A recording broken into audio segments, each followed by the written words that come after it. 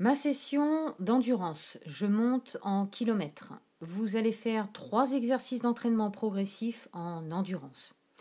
De manière à accélérer votre cœur et d'adapter votre organisme à l'effort d'endurance, il est primordial de vous fixer des objectifs chiffrés et clairs pour monter en kilométrage progressivement au fil des semaines.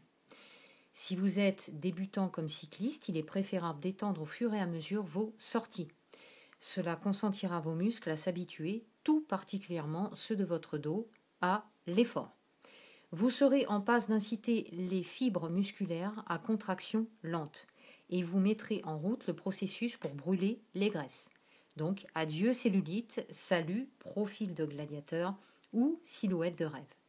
Le saviez-vous, euh, les cyclistes qui s'entraînent régulièrement brûlent leur graisse avec plus d'intensité que les cyclistes lambda?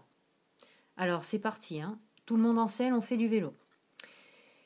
Vos objectifs, donc il va falloir atteindre le premier mois, euh, vous allez rouler 30 km ou un peu plus, avec un entraînement en aérobie restreint à faible vitesse durant longtemps, au minimum 45 minutes, en étant sous ou au niveau du rythme cardiaque du seuil euh, d'endurance aérobie, c'est-à-dire entre 60 à de 60 à 70% de la PMA.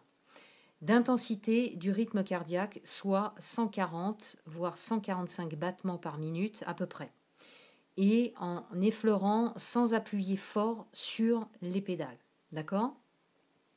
Le deuxième mois, vous allez rouler 60 km ou voire un peu plus avec un entraînement en aérobie restreint à faible vitesse durant longtemps, au minimum 45 minutes, en étant sous ou au niveau du rythme cardiaque du seuil d'endurance aérobie, c'est-à-dire entre 70 et 75% de la PMA d'intensité du rythme cardiaque, d'accord?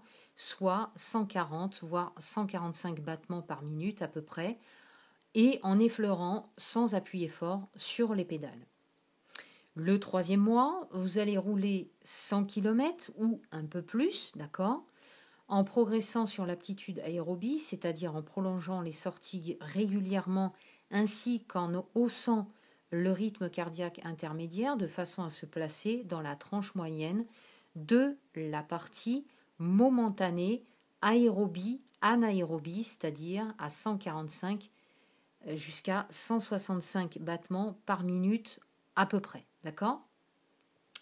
L'entraînement se fait donc sur l'entraînement, euh, l'endurance critique, d'accord, dans le but de hausser le seuil anaérobie on se trouve dans la seconde période du déploiement de l'aptitude aérobie. Afin de ce faire, il est préférable d'effectuer des sessions de fractionnés avec des rythmes cardiaques à la limite sans dépasser le seuil anaérobie. D'accord? Cet entraînement en fractionné ou encore par intervalle est conseillé dans le déroulement de la fin des périodes d'établissement de la préparation physique. Effectuez 5 séries de 3 à 5 minutes au seuil anaérobie, plus 3 minutes de récupération avec un rythme cardiaque équivalent à 70% du rythme cardiaque maximal. Durant une heure, en changeant 5 minutes au seuil anaérobie et 15 minutes en vélocité au seuil anaérobie, en enlevant 15 pulsations à la fin. L'endurance critique basse, donc je vous explique un petit peu ce qu'il faut faire. Quand on pratique un exercice entre 70 et 80% du rythme cardiaque maximal, on se trouve finalement compétent à rouler longtemps sans être complètement fatigué, uniquement si l'on s'hydrate et s'alimente souvent. Très important. Cela est régulièrement appelé, dans le jargon du cyclisme, un travail foncier. Cet, entraînement est bien pour la pratique du cyclotourisme, mais pas pour le cycliste qui veut se préparer à la compétition. L'endurance critique haute, donc qu'est-ce que c'est? C'est fait avec un entraînement un rythme cardiaque équivalent de 70 à 85% euh, du rythme cardiaque maximal.